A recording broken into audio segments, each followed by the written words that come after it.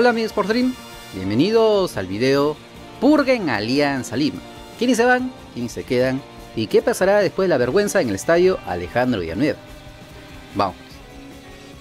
Y las repercusiones luego de la victoria de Universitario de Deportes frente a Alianza Lima en el estadio Alejandro Villanueva siguen al orden del día.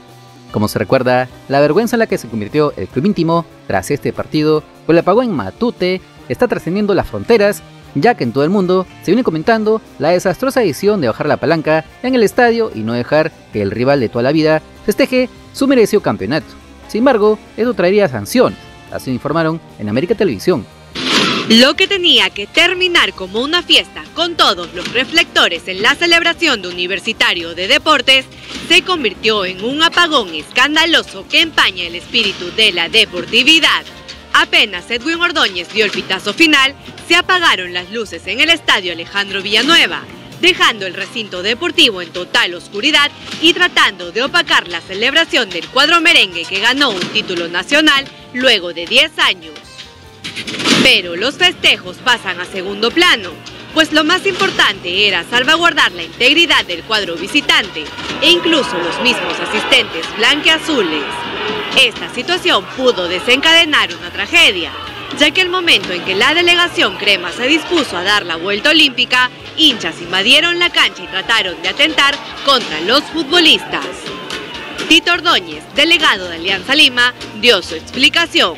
Esas decisiones no nos corresponden a nosotros de tomar decisiones de no premiación, de apagar las luces. Esas no son decisiones. El haber apagado las luces no es una decisión del club. No es una decisión de la institución, obviamente. La Liga de Fútbol Profesional se pronunció y aclaró que por motivos de seguridad, al producirse el corte de energía eléctrica, se acordó no realizar la premiación en la fecha programada y que esta situación lamentable afectó a la liga, sus patrocinadores y a la transmisión de la ceremonia. Por lo tanto, la premiación será el domingo a las 3 de la tarde en el Estadio Monumental. La verdad que ayer se ha hablado mucho del tema, del tema legal. Yo estaba revisando un poco, el Código Penal, igual este es un trabajo para los penalistas y también para el Ministerio Público en cuanto a la investigación. Eh, y esto es un delito contra la seguridad pública. ¿Es así? Si bien es cierto, no es tan específico eh, sobre el accionar de bajar la luz, igual hay que encontrar, ¿no es cierto?, un precedente o algo similar o alguna interpretación extensiva de las diversas normas porque este atentado contra la seguridad pública se dio. Felizmente no acabó en tragedia, que sería un agravante. Y sí hay que encontrar al o a los responsables. Eh, yo no me voy a comer el cuento, he tratado de hablar con gente de Alianza, no he tenido la posibilidad, pero no me voy a comer el cuento que no ha sido una decisión dentro de Alianza, porque quien bajó la palanca, por decirlo coloquialmente, sabía qué hacer, cuándo hacerlo y en qué momento. Por orden de quién o de quiénes habrá que investigar. Pero las personas que están involucradas en esto tendrán que estar sancionadas con el peso de la ley. Porque lo que ha ocurrido ha sido terrible y felizmente no ha pasado a mayores. Esto desde el lado legal, desde el lado deportivo, ha sido una vergüenza. Una vergüenza esto nacional e internacional, que ya está dando la vuelta al mundo y que va a seguir dando. Y que, va, y que está empañando también lo que es alianza. El propio dirigente, el propio administrador está atentando contra su propio club.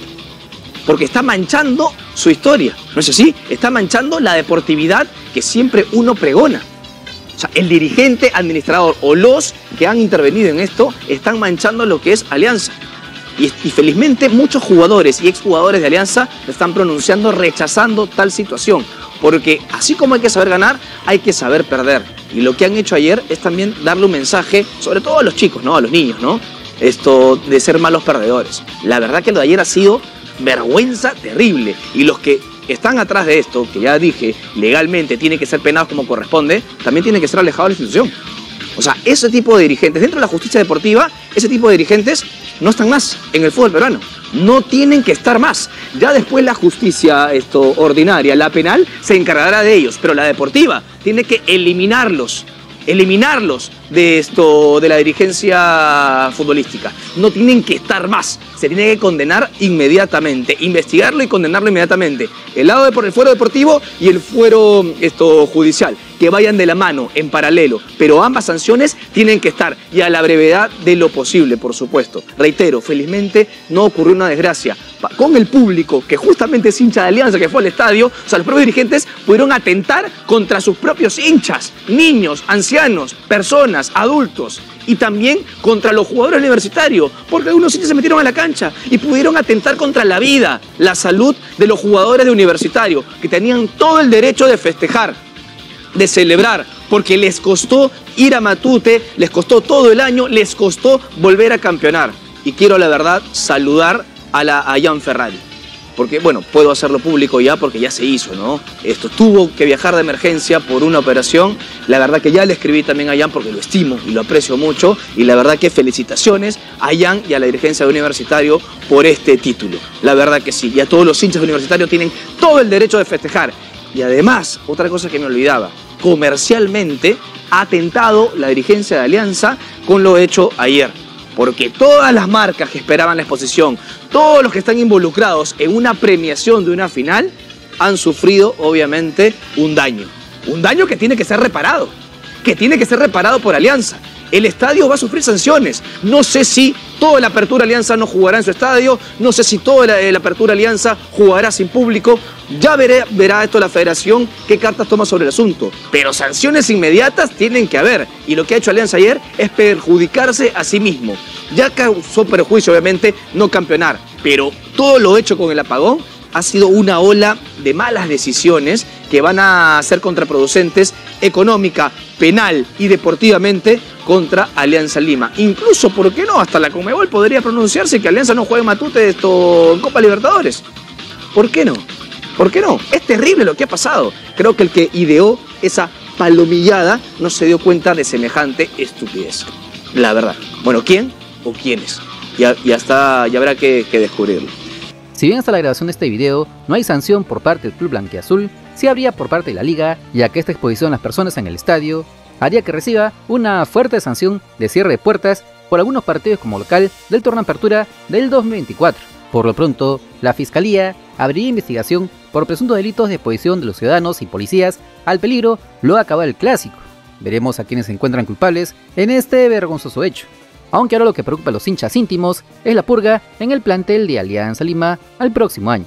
Al respecto, el primero que saldría sería el técnico uruguayo Mauricio Larriera, así lo mencionó el periodista deportivo Alfredo Canchaya. Última hora. Jugadores de Alianza Lima criticaron el planteamiento de Mauricio Larriera, quien no seguiría en el club por decisión propia.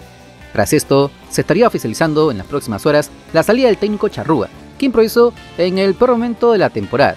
Sin embargo, jugadores como Brian Reina tampoco seguirían en la victoria, y esto se entiende tras estas fuertes declaraciones. ¿Crees que hay responsabilidad del técnico en lo que se hizo desde el principio? Ustedes, ustedes saquen sus conclusiones. Lo único que sí digo es que no me parece, no me parece porque he venido sacándome la mierda para estos partidos y no es posible que para mí no arrancar. A mí, a mí me jode mucho esto, yo estoy como la mierda ahora, estoy como la mierda. Las cosas están así eh, y, y ya está, ya está. ¿Se los has hecho saber a la riera? ¿Mm? ¿Se los has hecho saber a la riera esto, eso que no estás No, contando? porque yo creo que en, en todo el año no se me acercó a hablar conmigo y tampoco yo no puedo, no puedo hablar con él ahora. Ya les avisamos desde hace meses que se viene la Real Purga en Alianza Lima, empezando por todos los extranjeros. Andrés Andrade, Pablo Sabaj, Santiago García no seguirían en el 2024, mientras que Gino Peruzzi y hasta Hernán Barcos estarán en evaluación, donde lo único que podría salvar al pirata sería que se nacionalice como peruano para que no ocupe plaza extranjero el próximo año. Luego de eso, varios jugadores nacionales dejarían la institución blanqueazul, empezando por Cristian Cueva, que habría sido informado que no sería el próximo año y por eso su entorno estará buscando dónde jugar en el 2024. El siguiente que sería por la puerta falsa sería Cristian Benavente, que no juega desde el año pasado y se la pasó casi vacaciones todo el 2024 en España. Otro de los que cada contrato es José Bayón, que en todo el año su rendimiento ha ido decreciendo. Lo mismo pasa con Ángelo Campos, que si bien tuvo buenas actuaciones en la cancha, sus problemas fuera de ella le restarían posibilidades de sin la victoria. A él también lo seguirían Einson Chávez, Aldeir Rodríguez, mientras que Jairo Concha sería vendido a otro club, donde todo apunta que sería la U si no consigue algún equipo en el exterior. Así también le pasa a Brian Reina, que sé yo, que desde que le negaron irse al gremio Porto Alegre a medio año, se quedó con esa amargura en las piernas e hizo poco para volver a ser la figura en ofensiva que fue en la apertura para Alianza Lima, por lo que la dirigencia habría decidido venderlo sí o sí en este mercado de paz. Luego eso, todos tendrán evaluación, sobre todo los que acaban contrato este diciembre. Lastimosamente, jugadores que han sido decepcionantes como Gabriel Costa o Carlos Zambrano seguirían en la victoria, aunque quién sabe si con el nuevo técnico que vendría los tomaría en cuenta o decidiría prestarlos a otro equipo. Lo mismo pasaría con su flamante primer refuerzo del próximo año, Kevin Serna. El colombiano fue elegido por Mauricio Larriera, que sería estas próximas horas. Por lo que la pregunta ahora es, ¿el que venga lo tendrá en consideración o no? Veremos. Pero el que también debería dar un paso al costado sería José Bellina. El gerente deportivo de Alianza Lima es señalado como uno de los principales responsables de este fracaso en el 2023. Veremos si presenta su renuncia, como cuando lo hizo en el 2022, luego de la vergonzosa goleada de 8-1 en el Estadio Monumental, porque si bien esto no fue una goleada como tal, la vergüenza sufrida ayer es de esa magnitud. Esperamos que también señalen a los que toman decisiones en Alianza Lima, porque hasta ahora está pasando por agua. Bueno, esta fue la información que les dábamos al respecto de lo que se sabe hasta ahora en Alianza Lima, que es básicamente una purga tremenda que va a haber ya se los avisamos desde hace meses, los que vienen siguiendo el canal, les avisamos que en Alianza se iba la mayor eh, eh, parte del equipo, sobre todo después eh, de la apertura que ganaron en clausura cuando empezaron con Pizquierdo, habían ya en el antiguo fondo Blancazul incluso se decía que había una lista de jugadores que no se irían entre ellos los extranjeros, pues, seguidos por Bayón, por ejemplo, que había bajado de rendimiento ya en el clausura. Incluso en inicios de este año también ya se pedía que al menos traigan a alguien para que lo complemente porque se veía que no estaba haciendo ya el, el de otros años. Eh, incluso se decía que estaban tratando de negociar con Cartagena ¿no? para que lo supla en ese medio campo de contención. Eh, y así como él también, mm, Cristian Cueva, Benavente, que han hecho poco y nada en todo el año. De hecho, Benavente no hizo nada en todo el año, esto este año. Eh, Benavente prácticamente ha habido de lo que ha hecho en su carrera hace 10 años en llegó a Alianza con ese cartel, ¿no? Con las corridas que hacía en la selección, que hacía en el Charleroi. Pero de ese Benavente habían pasado años y nunca, nunca se pudo recuperar. Si bien algunos hinchas todavía medios románticos eh, piden que Benavente se quede, ¿no? Por, porque fue un buen jugador el tiempo que estuvo sano en Alianza, hizo goles, algo aportó. Lo que de verdad es, eh, si bien no es tan eh, alejado de la verdad esto, para un equipo como Alianza, o no, no, te alcanza con chispazos, ¿no? No te alcanza por todo lo que se juega Alianza en la Copa Libertadores, en la liga local, no te alcanzan con chispazos, con un par de golcitos al Suyana, al Manucci, nada más, cuando eso se requiere mucho más. Y obviamente no lo ha dado. Pues, Igual pasa con Cristian Cueva, que no ha dado para nada. Es eh, el real paquete, este debe ser Cristian Cueva, por todo lo que se pensaba. Porque incluso muchos hablan de Gabriel Costa como el paquete del año, de los más grandes en el año. Pero Siquiera Costa aportó con goles, pues, ¿no? Si, tal vez en los partidos sí le habrá quedado en la camiseta y todos sabemos de los problemas personales que tiene eh, Costa eh, a nivel familiar, pero eh, al menos en la cancha aportó con algunos goles, más que todo en la apertura, si bien después la lesión le pasó factura a Gabriel Costa, nunca se encontró Costa tampoco con el equipo. Pero a diferencia de Cueva, Costa sí tiene contratos el próximo año. Entonces va a ser complicado que lo, lo saquen del club teniendo contratos, salvo que lo quieran prestar. Este, pero eso depende del técnico que ingrese, pues, ¿no? Antes que vaya con el técnico, lo de eh, Cueva está ya casi definido, o sea, la dirigencia le bajó la cabeza, esta nueva administración de Alianza, con Zagual a la cabeza, le bajó la, el dedo a medio año, pero fue la Riera el que por ahí decidió que se quede, que le extiendan su préstamo hasta este fin de año, hasta diciembre de este año. Eh, así que, eh, pero por parte de la dirigencia ellos pensaban ya sacar a Cueva, pues, ¿no? Entonces, con este fiasco en la final, e incluso con todo lo que supo después, ¿no? las fiestas en las que fue, estuvo eh, Cristian Cueva, a pesar después de lo que pasó en Trujillo, eh, luego que supo la lesión, de la supuesta lesión de rodilla que tenía Cristian Cueva y que pues no lo dejaba ser el jugador que, era, o que le recordamos hasta el año pasado en la selección. Por todo esto que está pasando con Cueva, porque la verdad es para hacer un video completo nada más con él y todos sus, todas las anécdotas este año con Alianza. Pero por todo esto que les explico, entonces Cueva no sería otro año, sería. O sea, acá su contrato y no lo renuevan y habría que saber dónde va Cueva a jugar. Supuestamente tendría que volver a su club, al dueño de su pase, que es el Alfa T. Eh, y habría que ver qué pasa, ¿no? Si, que Cueva se, se, opera la rodilla, que está mal, si la recuperación lo hace con estando todavía contrato con Alianza o con el Alfa T. Ahí sí hay una cosa media eh, que todavía está en, duda, ¿no? ¿Qué pasaría en, el aspecto legal? ¿Qué pasaría con Cuevas si se opera antes de que haga su contrato con Alianza o su préstamo con Alianza, ¿no? La recuperación la hace, la recuperación la hace con Alianza, la recuperación la hace en el FAT, en hace otro club. Ahí está la gran pregunta, ¿no? Pero por parte de diligencia Blanqueazul está que salga Cuevas sí o sí. En cuanto al técnico, hablando de la Riera, ya está prácticamente confirmado que, no, no va a estar al próximo año y obviamente después del fiasco que hizo el partido de ayer, incluso en el partido de ida, en las, dos finales, de verdad, el, planteamiento de la Riera ha sido lamentable y sus replanteamientos, ahí nomás, pues, ¿no? Porque también lo que replanteó en el Monumental, a pesar de que empató sobre el final, o sea, tampoco es que hizo algo espectacular, pues, ¿no?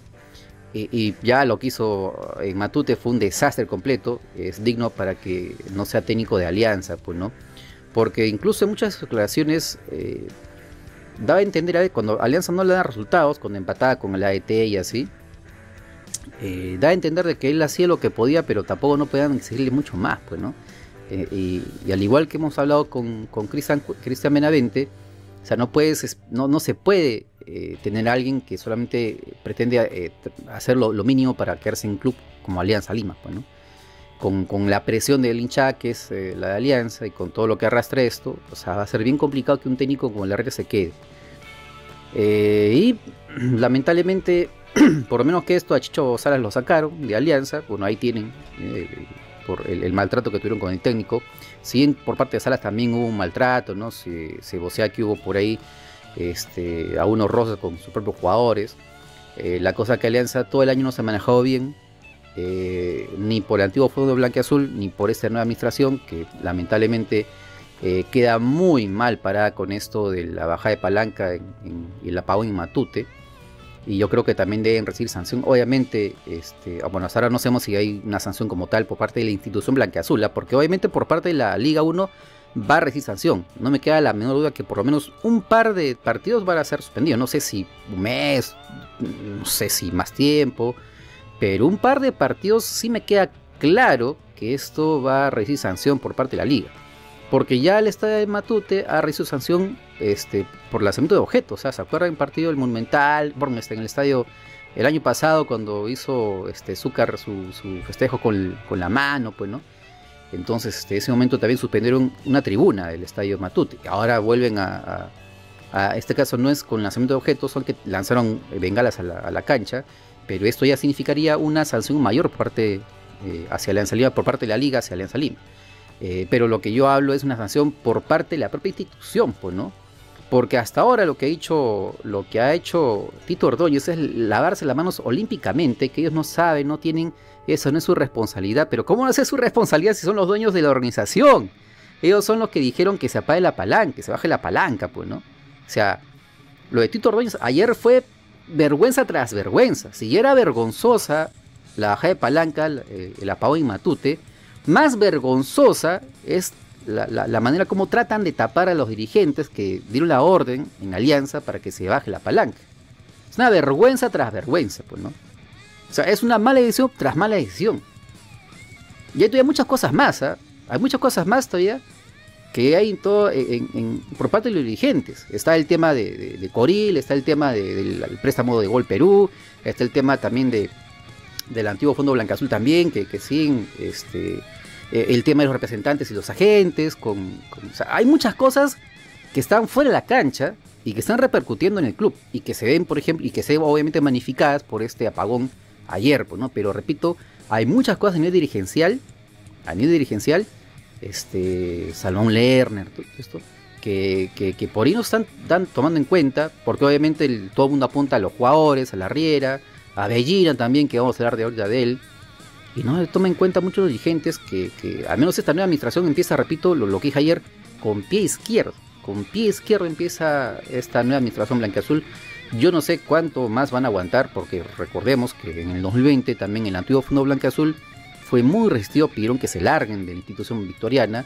luego del descenso en el 2020, luego ya un poco se suavizaron cuando volvieron al, cuando salvaron el descenso en el TAS, pero si es que si es un, fracaso más, un nuevo fracaso el próximo año, yo no sé si la hinchada lo va a aguantar, pues, ¿no? por más que sean grandes empresarios como el señor Sabogal, Carlos Iraoka, por más que sean en sus rubros sean los mejores, pero a nivel eh, deportivo están dejando mucho que desear.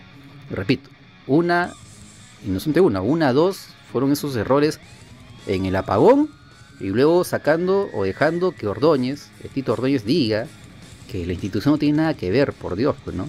O sea, le embarran una vez, le embarran dos veces, espero que es una tercera, o esperemos que no salga Alianza ahora con un comunicado en su red social diciendo que no, ellos no tienen nada que ver, que fue la policía, que ellos dijeron, o sea, sería ya, sería el colmo ya, sería el colmo, y no quiero usar improperios en este video, pero sería el colmo ya que de, de las pésimas dicen en Alianza, pues, y, en estos últimos eh, meses, ¿ah? y en esta corta tiempo, este corto tiempo de la nueva administración de, Alianza Lima, pues, ¿no? Y repito, ahí también hay que apuntar, porque ahí está la madre del cordero. Muchas de las cosas que hicieron mal en la cancha, en Alianza, empezaron con esta o con las administraciones en Alianza, del antiguo Fondo Blanca Azul y de este nuevo Fondo Blanca Azul. El antiguo por tres jugadores que no estaban al 100% físicamente, que se lesionaban a medio año, como el caso de Andrade, como el caso de Sada, como el caso de García, eh, trayendo paquetes como Cueva, por ejemplo, que fue más capricho de González Posada que otra cosa. Luego de esta nueva administración que, que, decidió renovarle a Cueva hasta fin de año sabiendo que estaba lesionado de la rodilla, que se lesionó en la apertura, pues en abril. Es el colmo, ¿no? O sea, hay muchas cosas, repito, en el medio que están haciéndose mal y que muchos de los comunicadores y periodistas de Alianza Lima han tapado. Les han hecho conocer porque no querían desestabilizar el equipo para estas finales. Y que recién ahora va a empezar a hablar. O sea, yo, no les quepa la menor duda de que ahora empezar a sacar muchas cosas que no sabían de esta administración, o de los jugadores, o el cuerpo médico, o de la gerencia deportiva, que es de José Bellina. Hay que decir también que tiene responsabilidad este, en este fracaso de Alianza, si no bien específicamente en las luces, no lo sabemos. Pero sí, eh, mucho eh, por traer a estos jugadores, por no hacerles una revisión médica exhaustiva como se vio hacer, repito, por todos los que han traído, ¿no? Benavente, incluso Farfán. Farfán también en su momento vino con Alianza y no estaba al 100% físicamente, no le hicieron pruebas médicas exhaustivas y así todos lo ficharon, pues, ¿no?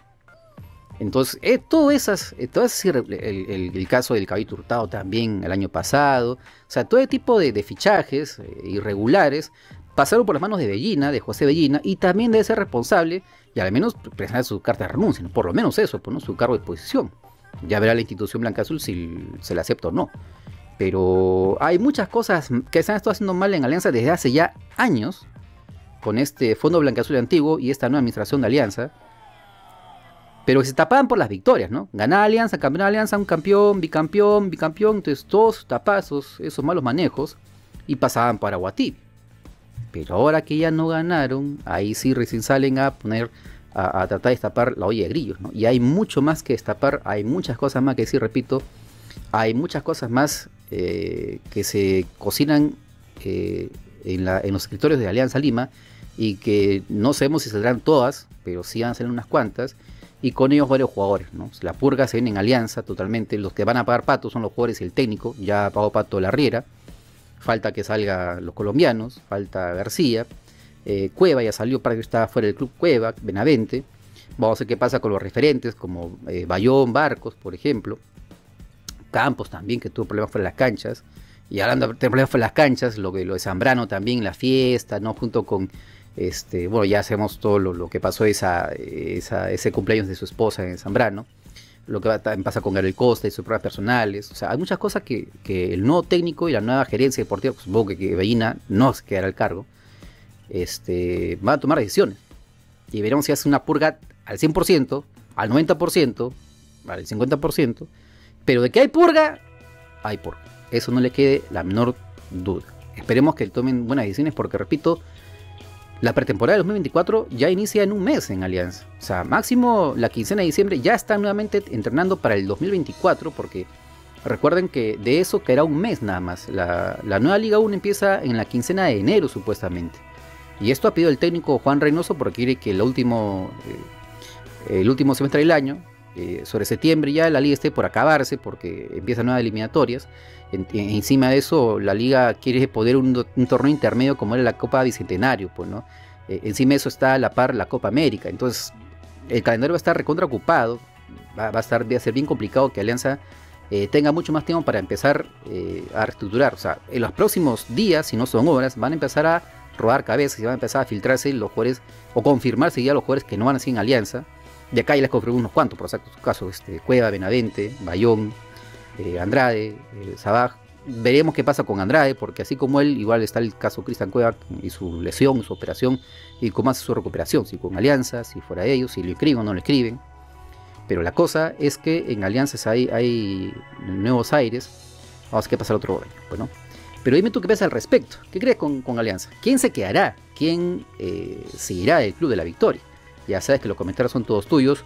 Los leo a todos y le respondo a todos. Ya sabes que estás en el verdadero canal de todo el fútbol peruano. Si te gustó el video, like, comparte, suscríbete, campanita. Nos vemos mañana más tarde así, toda la semana.